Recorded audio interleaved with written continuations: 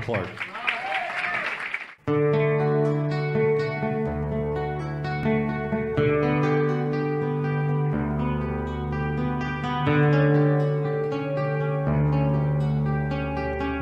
you.